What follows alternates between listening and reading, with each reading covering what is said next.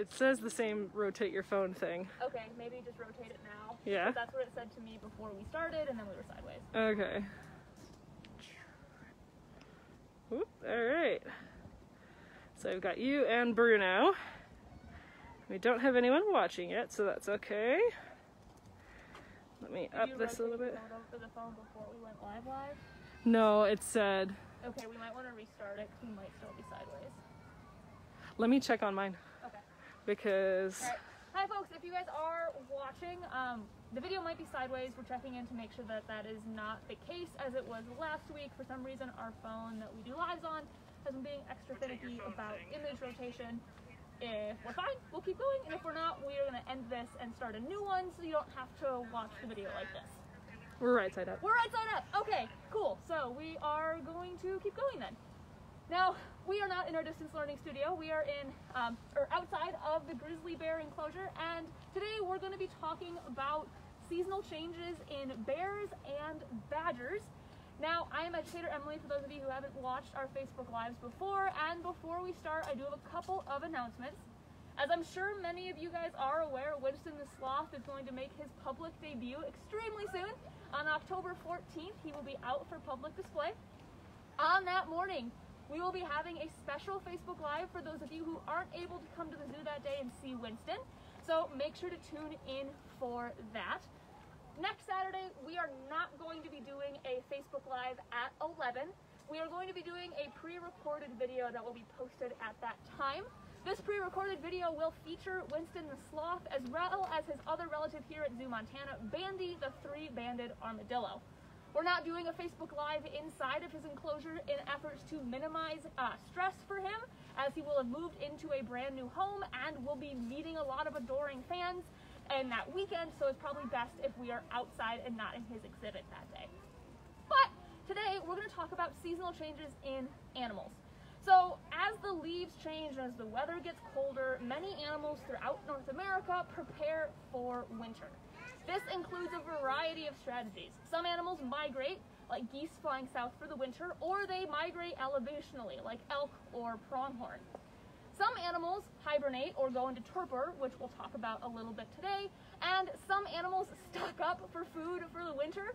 If you guys haven't uh, looked at Fat Bear Week on the National Parks Instagram page, I highly recommend you do so. It wrapped up on Monday with bear number 747, the jumbo jet winning uh, Fat Bear Week, and it's just wholesome, chunky bear content. But those bears are in a state of hyperphagia, which is where they're basically trying to eat all the nutrients possible before they enter their torpor state for winter. Now, none of the animals that we have here at our zoo, whether that's our grizzly bears behind me or Yuki, our North American badger, go into hyperphagia or torpor or slash hibernation truly because they have food, shelter, and all the resources that they would need year round. So they don't have to worry about stocking up for lean times.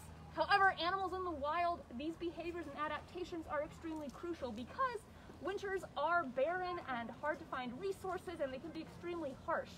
So being able to have adaptations that allows you to survive during harsh months is a key adaptation to ensure your survival in the spring.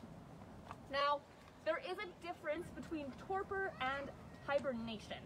Today, the animals that we talk about, the North American badger and the grizzly bear, go into a state of torpor. So it's a common misconception that bears hibernate, but they don't truly hibernate. According to Encyclopedia Britannica, their definition of hibernation is a state of greatly reduced metabolic activity and lowered body temperature, adopted by certain animals as an adaptation to adverse weather conditions. Now, true hibernators include animals like woodchucks, ground squirrels, or even some species of bats. Now, in these animals that truly hibernate, the changes that happen to their body are extreme. For example, I have it written down here because it's wild. In woodchucks, their normal heart rate is about 80 beats per minute. However, in the state of hibernation, their heart rate falls to either 4 or 5 beats per minute. In certain species of ground squirrels, their body temperature drops from about 38 degrees Celsius to negative 2.9 degrees Celsius during their states of hibernation. Hibernation is also an involuntary process. Animals don't have control about when they go in or come out of hibernation, and hibernation is a state that's very difficult to come out of. Torpor, on the other hand, which is what grizzly bears and badgers do, is a voluntary state with less extreme physiological changes that is easier to go in and out of. So the definition that we are using for torpor today is a deep sleep that slows an animal's metabolism. Now, their body temperature and heart rate will also decrease in the state of torpor, but it's nothing nearly as extreme as going from 80 beats per minute to 4 beats per minute. So, animals in torpor also wake up easily. This is why bears can give birth in their dens, right? You can't give birth while you are unconscious if you are a bear. However, female grizzly bears are able to wake up out of their state of torpor to give birth to their young, and this is a key adaptation, which is why they don't hibernate. Now, like I said, Bruno and Ozzy here don't have to go into their state of torpor. You can actually see, we think is Bruno, uh, sacked out in his um, little, there we go, his little hay pile right there behind me. He's lounging in the nice warm sun. But in wild bears that do go into torpor, a couple things happen to their bodies. First, their body temperature is going to drop slightly, right? And everything that they're doing is conserving energy. So the colder your body is, the less calories you have to use to keep it warm. Their breathing rate will also drop, sometimes as much as 50%, right? Slower that you breathe, the less calories you have to move or use to move your muscles, expand your lungs, use your airways, all this stuff. Their heart rate will also drop as well, but again, it's not anything like going from 80 beats per minute to 4 beats per minute. It drops only by a couple beats here and there. So just make sure I'm getting everything correct. Now the cool thing about torpor or hibernation is obviously these bears are in dens or underground, secluded in some way from the harsh winter conditions for months at a time. And aren't they gonna have to like pee or poop? Like what, what are they gonna do? The cool thing with bears at least is they or poop for months because they're not actually eating anything. When they're in this torpor state, they're living off of fat reserves. So nothing's actually going through their digestive tract, right? Nothing's entering their mouth, going down in their stomach, through their intestines, and out their butt. Everything is being used from their fat stores. However, their bodies are still producing urea, which is the main component in urine. Now, to ensure that they're not losing crucial water, the bears don't pee. Instead, they reabsorb that urea into their body, break it down into amino acids that then create new proteins that the bears can use for energy. So this state of torpor is an incredibly energy efficient process that ensures their survival through the winter months. Now, studies done in bears, ground squirrels, and even dwarf lemurs, yes, there are some species of tropical animals that do go into torpor or hibernation, have found that there's a set of genes that animals are able to turn on and off depending on when they go into the state of torpor or hibernation, and these genes control how your body metabolizes fat. So obviously you're going to want to be able to metabolize your fat better when you're in torpor or hibernation as opposed to when you're out and about expending calories. Now the cool thing is, is all those animals are mammals, we are mammals as well, and humans have those exact same genes in our genome. So all those sci-fi movies where scientists and astronauts are out in space and then they want to go far, far away, so they like go into a freeze chamber and they're like, 100 years in the future, I'll wake up. Maybe in the far distant future, if scientists can figure out how these genes work, those crazy sci-fi movies will become a reality, but not in our lifetimes. Definitely not in our lifetimes, but it's super cool to think about, right? Now, for the badger, sweet little Yuki, um, if you have been to our zoo recently, you've seen that she's gotten a lot bigger, so she has put on more weight uh, for her winter weight. However, she is not going to hibernate or go into torpor much like our grizzly bears, she's just going to kind of slow down her activity. Now, badger torpor is very different than grizzly bear torpor. Badger torpor is like in shorter cycles than bears. Um, so the cycle of torpor for a badger extends to about 29 hours.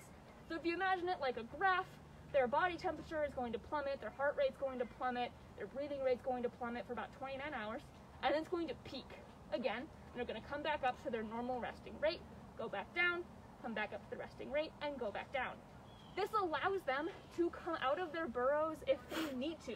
So sometimes badgers will mate in the winter, they'll forage in the winter, and they'll actually change the bedding in their burrows fairly frequently. So these 29 hour cycles allow them to still come out and function and do normal things when the weather conditions are more um, tolerable or amicable for the badgers. So while the bears and the badgers do it very differently, these are key adaptations that help them to survive harsh winters all throughout North America. Now, do we have any questions, Miss Katie? Not that I can see, but let me double check. That was a lot of information really fast about a lot of things that I also had to teach myself this morning because I'm not gonna lie, I honestly thought bears hibernated up until this morning and they don't. I don't see any questions. Cool. I can will do I can do a zoom in on Bruno. Okay, I will step out of the frame really quickly so that you guys can look at Bruno. He's uh, having a nice snooze in the sunshine, which sounds amazing if you. But I'll get out of your way because you want to see him. You you don't want to see me.